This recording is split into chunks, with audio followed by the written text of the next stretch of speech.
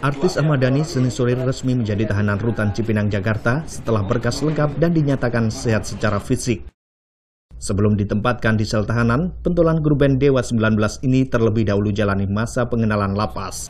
Jadi eh, hari ini beliau wajib menjalankan masa orientasi yaitu mapenaling, masa pengenalan lingkungan di misi orientasi kurang lebih 3 sampai 1 minggu.